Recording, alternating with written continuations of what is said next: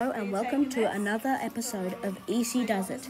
Today we are making an or uh, 3D jellyfish.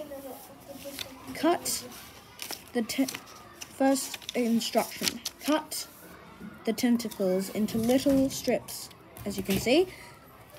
Then do this like so.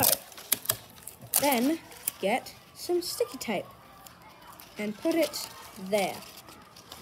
And if you like, you can get some more sticky tape and put it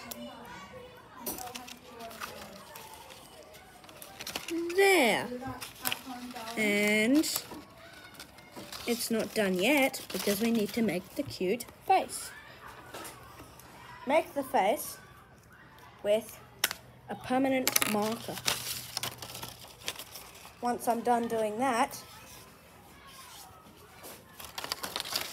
so there's the mouth. And